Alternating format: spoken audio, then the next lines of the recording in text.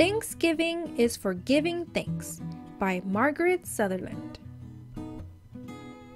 Thanksgiving is a day of the year that we eat lots of turkey and pumpkin pie. But most of all, it is the day when we give thanks for all the things that make us feel happy. I am thankful for my dad and mom. They love me when I'm good, and even when I'm not so good. I am thankful for everyone else in my family. My grandma gives me really good hugs. I am thankful for my teacher. She makes me feel special when she hangs my artwork on the wall. I am thankful for my friends who make me laugh.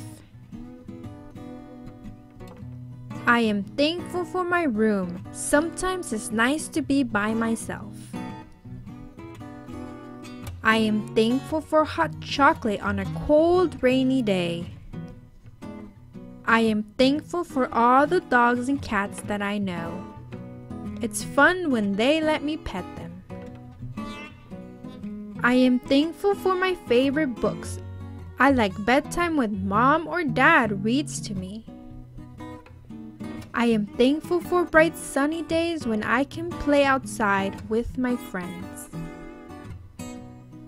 I am thankful for lollipops that turn my tongue purple, or green, or orange, or red, or blue.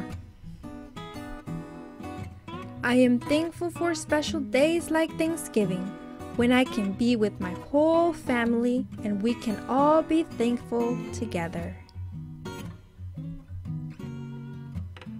Okay, friends, that's the end of our story. Thanks for watching. Don't forget to like and subscribe for more videos.